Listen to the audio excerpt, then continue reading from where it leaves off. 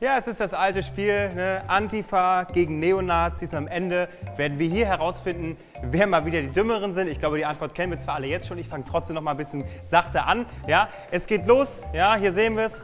Antifa gegen Neonazis. Das sind Symbolbilder, aber ich glaube, es sollte zu erkennen sein, wer wer ist. Ja? So, und äh, die Antifa hat jetzt eine Aktion gestartet. Genau gesagt, die Zeitung Zecco, die nennt sich die bezeichnet sich als antifaschistisches Lifestyle-Magazin, auch nicht schlecht, ja. Und die haben eine Facebook-Seite angelegt, die nannte, nannte sich Antifa-Feindaufklärung.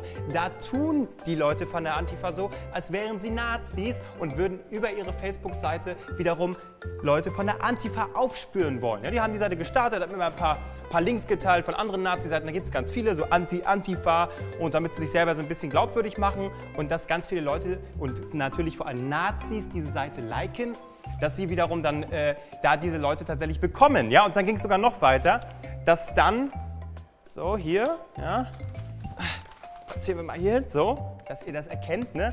Die Antifa wiederum hat dann mit ihrer Anti Antifa-Seite, Antifa-Feindaufklärung, einen Post gestartet, wo sie ein Bild gezeigt haben und äh, geschrieben haben, bitte verbreiten, ja, ein angebliches Bild einer Demonstration, wo Leute demonstrieren, die dort nicht zu erkennen sind, die dies dann aber kenntlich gemacht haben, ja, und die, die äh, sozusagen die Personen namentlich genannt haben. Angeblich seien das alles Leute von der Antifa, die, wiederum dann äh, hier äh, kenntlich gemacht werden und die Leute der Anti-Antifa, also die Neonazis, ja, dieses Bild weiter verbreiten sollen, dass sie die aufspüren können. So, in Wirklichkeit sind diese Gesichter, die hierbei aufgetaucht sind, alles Nazis. Ja, hat natürlich keiner gemerkt, ne? wurde alles schön weiterverbreitet.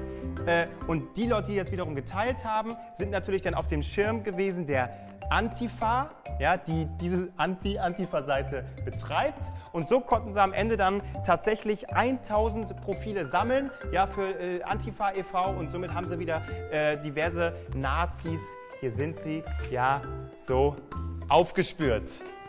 So, und jetzt sehen wir es. Wer sind am Ende die Dummen? Richtig hier. Die Nazis. Ich weiß, wir kannten die Antwort schon am Anfang, aber jetzt haben wir es nochmal auf schwarz-weiß-rot. Sie sind die Blöden. Ja? Also die Antifa, eine clevere Aktion, die tatsächlich funktioniert hat.